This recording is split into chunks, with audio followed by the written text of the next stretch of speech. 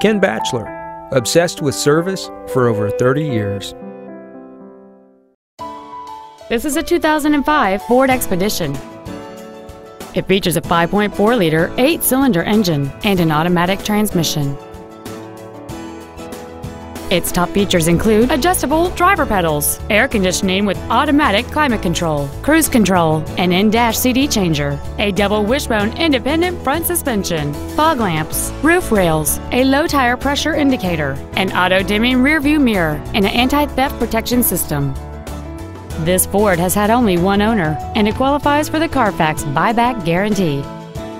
Please call today to reserve this vehicle for a test drive. Now that you've seen the car of your dreams, come see the dealer of your dreams, Ken Batchelor.